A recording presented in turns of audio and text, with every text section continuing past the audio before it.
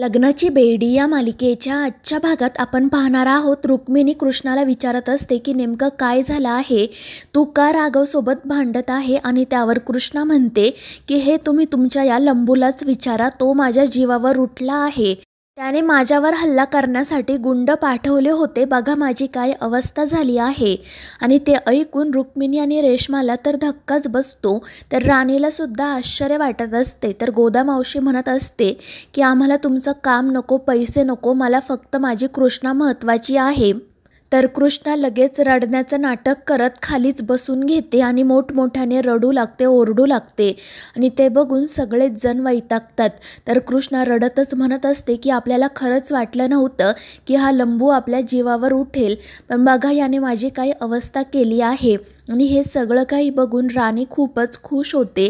ती मनाशी म्हणत असते की या कृष्णाला तर असं वाटते की ते गुंड राघवने पाठवले होते. म्हणजे आता कोणालाही कळणार नाही की ते गुंड मी आणि शकुंतलाजींनी पाठवले होते. तर इकडे रेश्मा राघवला विचारत असते की राघव भाऊजी खरंच ते गुंड तुम्ही पाठवले होते का? आणि त्यावर राघव म्हणतो की नाही रेश्मा हिचा काहीतरी गैरसमज होत आहे आणि मी मगाचपासून हिला तेच सांगण्याचा प्रयत्न करतोय पण ती काही ऐकून घेईल तर ना? आणि मग त्यानंतर तो सगळ्यांना सांगू लागतो की मी गुंड पाठवले होते पण मात्र कृष्ण त्याला पुढे काही बोलूच देत नाही. ती पुन्हा मोठमोठ्याने रडू लागते आणि ते बघून राघव खूप चिडतो. आणि मग त्यानंतर कृष्णा म्हणते की आपल्याला या घरात राहायचंच नाही. चल मावशी आपण इथून निघून जाऊ. आणि मग त्यानंतर त्या दोघीजणी तेथून जाण्यासाठी निघतात. तर रुक्मिणी राघवला म्हणत असते की अरे राघव तू तरी बोल तिच्याशी तिला थांबव. मात्र राघव काही कृष्णाला थांबवत नाही आणि ते बघून राणी खूप खुश होते. आणि हसतच राघवकडे बघत असते. तर इकडे गोदामावशी सिंधूला म्हणजेच कृष्णाला म्हणत असते की आता आपण खरंच या घरातून बाहेर पडायचं का? त्यावर सिंधू म्हणते की मावशी जर आता आपण बाहेर नाही पडलो तर यांना संशय येईल. आणि मग त्या दोघी नाईलाजाने घरातून बाहेर पाऊल टाकणार इतक्यात राजश्री त्या ठिकाणी येते. आणि ती सिंधूला आवाज देते. त्यामुळे मग कृष्ण आणि गोदामावशी थांबतात. तर राजश्रीला बघून सगळ्यांनाच आश्चर्य वाटते. राघव आणि राणी पटकन तिच्याजवळ जात तिला आधार देतात. आणि मग त्यानंतर राजश्री सोफ्यावर जाऊन बसते आणि ती सिंधूला म्हणजेच कृष्णाला तिच्याजवळ बोलवते. ती विचारते की काय झालं सिंधू? तू हे घर सोडून खरंच जाणार होतीस का?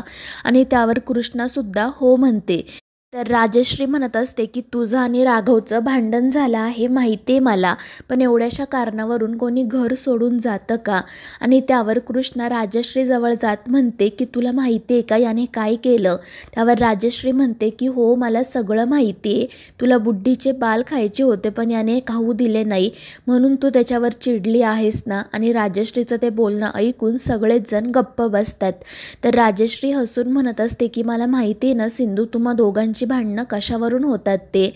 पण खरंच एवढ्याशा कारणावरून कोणी घर सोडून जातं का? आणि मग त्यानंतर ती सिंधूला म्हणजेच कृष्णाला तिच्या जवळ बसवते आणि तिला समजावते. आणि मग ती रागवलासुद्धा तिच्या जवळ बसवते आणि त्याच्यासोबतही शांतपणे बोलते. ती म्हणत असते की राघव तू सिंधूची माफी माग तिला सॉरी म्हण. पण राघव काही सॉरी म्हणायला तयार होत नाही. पण राजश्रीने आग्रह केल्यानंतर तो सगळ्यांसमोर सिंधूची माफी मागतो. त्यामुळे ती खूपच खुश होते. तर राजश्री सिंधूला सांगत असते की माझा राघव थोडा रागीट आहे थोडा आगाऊ आहे पण तो मनाने खरंच खूप चांगला आहे. त्याचं तुझ्यावर खूप प्रेम आहे आणि त्याचंच नाही तर माझंही तुझ्यावर खूप प्रेम आहे. आम्ही दोघेही तुझ्याशिवाय जगू शकत नाही ग. माझ्या आजूबाजूला जर तू असशील ना तर मला खरंच खूप छान वाटतं. त्यामुळे तू प्लीज मला कधीही सोडून जाऊ नको. मला प्रॉमिस कर आणि त्यावर सिंधूसुद्धा म्हणते की हो मदर मी तुला कधीही सोडून जाणार नाही कायम तुझ्या सोबतच असेल.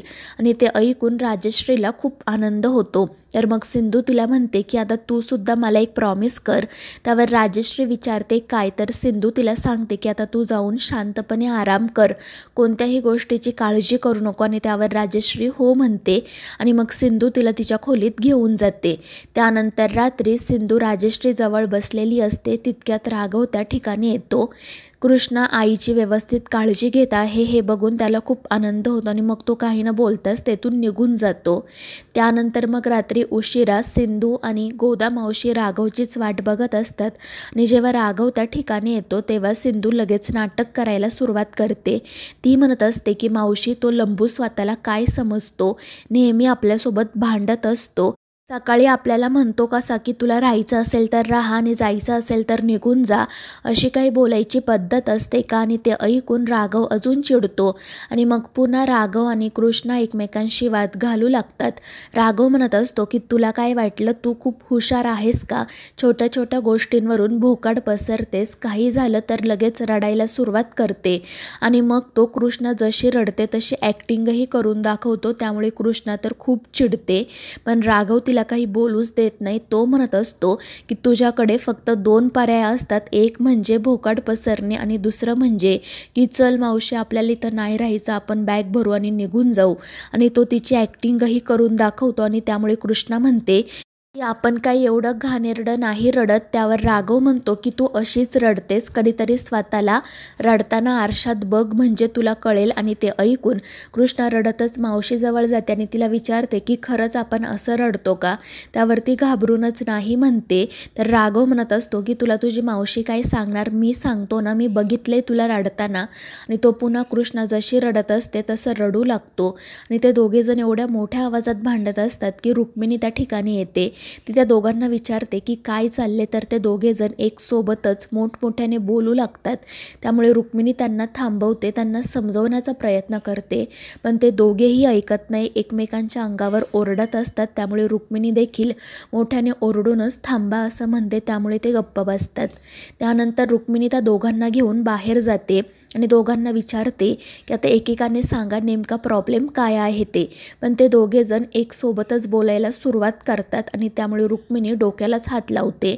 आणि मग त्यानंतर राघव म्हणत असतो कृष्णाला की तू बोल. तर कृष्णा म्हणत असते की नाही लंबू तू बोल. आणि त्यांचं हेच सुरू असतं. त्यामुळे रुक्मिणी मोठ्याने ओरडूनच म्हणते की बास करा. आणि आता एकेकाने सांगा की नेमकं काय झालं आहे? आणि त्यावेळी मग राघव सांगू लागतो की ही सतत माझी खोड काढत असते मला काहीही बोलत असते. तर कृष्णा म्हणत असते की हा सुद्धा आपल्यामध्ये सतत त्या सिंधूला शोधत असतो. आपल्याशी नीट वागत नाही. एका ब्युटिफुल मुलीशी कसं वागावं हे सुद्धा त्याला कळत नाही. आणि ते रुक्मिणीसमोरच पुन्हा भांडायला सुरुवात करतात. पण रुक्मिणी त्यांना शांत बसायला सांगते. आणि मग त्यानंतर ती त्या दोघांनाही म्हणते की आता तुम्ही दोघांनी एकमेकांना तीन अटी घालायच्या. आणि त्या तीन अटी तुम्ही दोघांनीही मान्य करायच्या. जर तुम्हाला मान्य असेल तर बोला. आणि मग त्यावर ते दोघेही विचार करून हो म्हणतात. आणि मग त्यानंतर राघव कृष्णासाठी तीन अटी तयार करतो. तो कृष्णाला सांगतो की माझी पहिली अट ही आहे की तू मला कोणत्याही नावाने हाका मारायच्या नाही मला त्रास द्यायचा नाही. तर कृष्णा म्हणत असते की ही अशी कशी अट? म्हणजे उद्या तू म्हणशील की कृष्णा तू श्वास घेऊ नको मला त्रास होतोय. तर राघव म्हणतो की पुढे तू नीट ऐकून घे. मग तो त्याची दुसरी अट सांगतो की तू इथे आईची काळजी घेण्यासाठी आली आहेस तर तू आईची व्यवस्थित काळजी घ्यायची. हवं तर तू माझ्याशी नाही बोलली तरी चालेल. त्यावर कृष्णा हसतच म्हणते की आपण ज्या कामाचे पैसे घेतो ते काम तर नीट करणारच ना. आणि मग राघव तिला तिसरी अट घालतो की तू सतत हे घर सोडून जाण्याची धमकी द्यायची नाही आणि ते ऐकून सिंधू खुश होते. ती मनाशी म्हणते की बरं झालं राघवने ही अट घातली. म्हणजे आता मला सतत घर सोडून जाण्याचं नाटक करावं लागणार नाही आणि कोणाला संशयसुद्धा येणार नाही. आणि मग ती म्हणते की मला ह्या तिन्ही अटी मान्य आहेत. मग रुक्मिणी तिला विचारते की तुझ्या तीन अटी काय आहेत त्या सांग आणि मग कृष्णा तिच्या अटी सांगायला सुरुवात करते. ती म्हणते की आधी या लंबूला सांग की आपल्यामध्ये त्या सिंधूला वगैरे शोधायचं नाही. आपण कृष्ण आहोत आपल्याशी नीट वागायचं. आणि मग त्यानंतर ती दुसरी अट सांगते की सकाळी सकाळी या लंबूने आपल्यासमोर यायचं आणि आपल्याला छान स्माईल देऊन गुड मॉर्निंग विश करायचं. आणि ते ऐकून राघव रागातच तिच्याकडे बघू लागतो.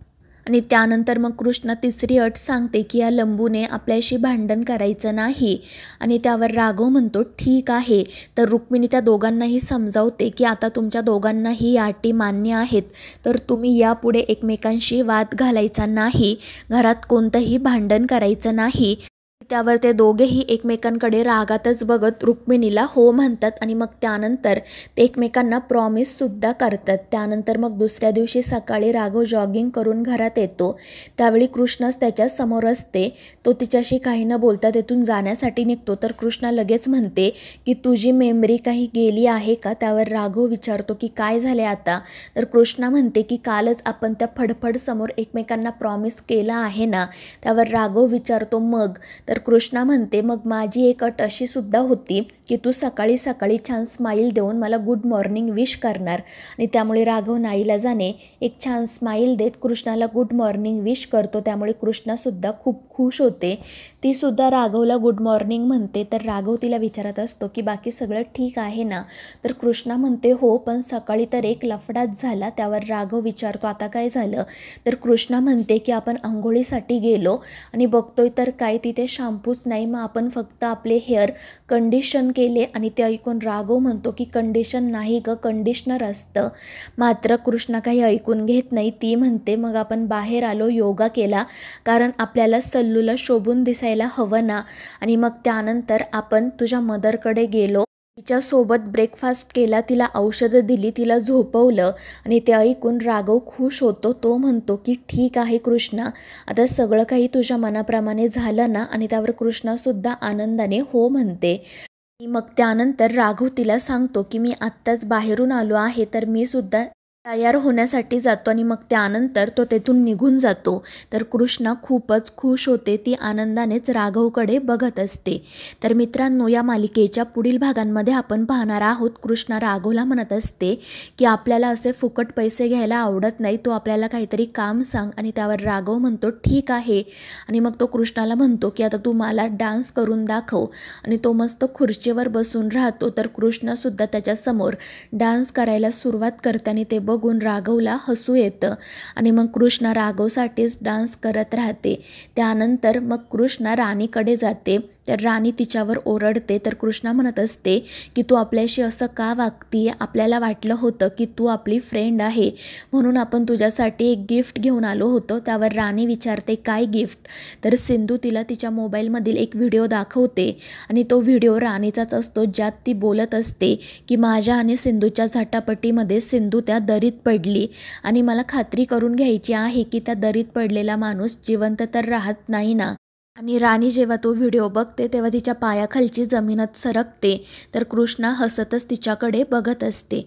तर मित्रांनो या मालिकेच्या पुढील भागांच्या अपडेट्ससाठी आपल्या चॅनेलला सबस्क्राईब करा.